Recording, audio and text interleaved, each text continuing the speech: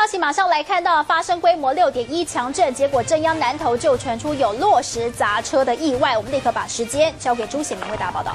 好，大家看到靠近的正央南头的这个仁爱附近呢，可发生了一起落石砸车意外。你可以看到了整个这么大的石头重达了一吨多，整个呢往车上面砸之后呢，整台车呢可以看到驾驶舱呢整个是全毁了，几乎呢都没有任何的这个空间呢可以让这个民众呢来这个逃出。当时呢，事实上呢一地震之后呢，这正央附近的整个落石呢，突然间是从旁边的这个大这个山坡上面的滚了下来，直接砸中了这一台呢这个天空蓝的一个轿车。当时呢，这个呢驾驶呢简直可以说是。吓坏了！事实上呢，整个的重量呢，让整个这个上面的车底呢，整个夹成了像一块饼干一样。当时呢，附近民众目击之后，听到砰的一声呢，简直快吓坏了。而且这个落石还不只有一块啊，包括后面还有前面呢，好几块陆续砸在了车上，导致整个车呢是车体变形的，驾驶舱呢也被砸坏了。这是目前在南投这个仁爱的最靠近镇压所传出来这个落实打到这个车的一个灾情了。